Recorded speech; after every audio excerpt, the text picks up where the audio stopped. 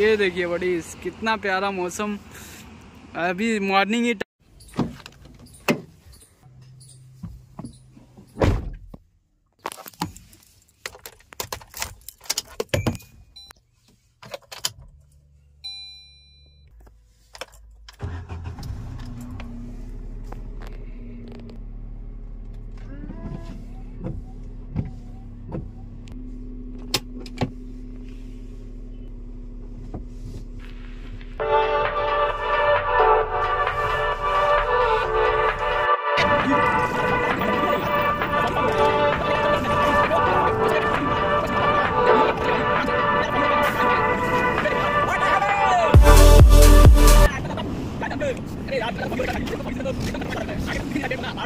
तो मैं N H eight पे था तो मुझे मतलब खेत दिखा है।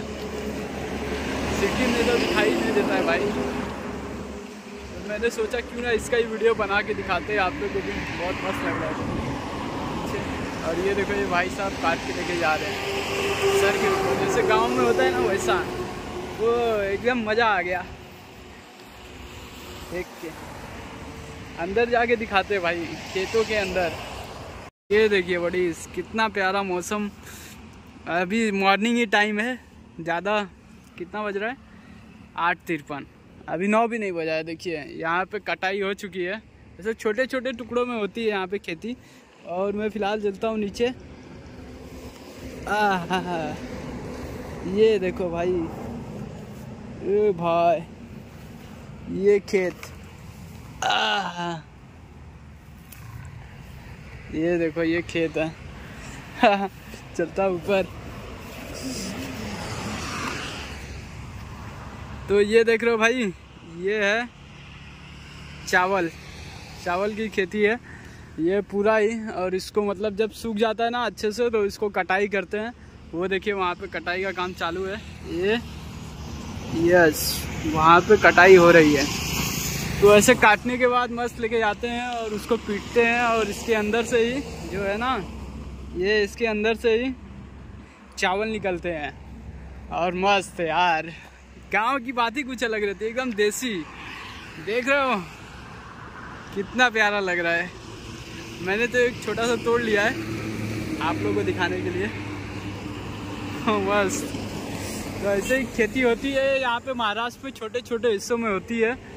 तो औसम लगा मुझे। क्योंकि ऐसा नज़ारा तो मुझे गाँव में ही देखने को मिलता है, अपने गाँव में। यहाँ पे भी, और भाई, यहाँ की जो हवा है ना, ये इसकी पूरी स्मेल काफ़ी इंटरेस्टिंग लग रही है। प्यारी एकदम। तो औसम अडीज ये देख रहे हो मतलब मेरे पीछे का जो है खेती है महाराष्ट्र की।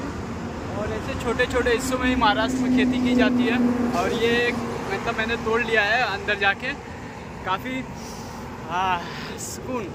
तो ऐसे खेत जो रहता है, वो जो सिटी में रहता है भाई, वैसे ही बिहार में तो देखने को मिलता ही नहीं है। इतना मस्त जो है यहाँ पे हवा है और यहाँ की स्मेल इसकी जो स्मेल है ना, भाई दिल छू ले रही है। मतलब इतनी प्यारी लग रही है स्मेल जैसा लग रहा है मुझे गाँव की याद आ गई। और मैं अभी एन एच फोर्टी एट पर हूँ, अब मैं निकल रहा हूँ।